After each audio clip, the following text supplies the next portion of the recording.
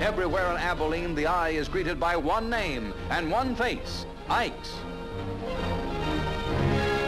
Through Kansas toward Abilene, a train carries the candidate and his wife, and it stations all along.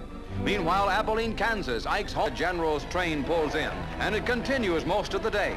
Ike and Mrs. Eisenhower, nevertheless, are greeted by an immense throng.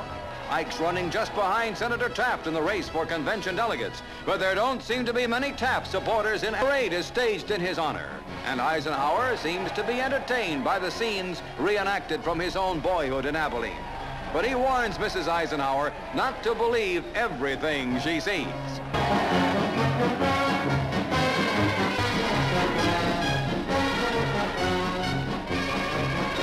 Hometown, where he is to make the opening speech of his drive, is in a flurry of preparation for the biggest day in its history. Confers with Senators Duff and Lodge and Paul Hoffman, his chief civilian clothes general or Mr. Eisenhower.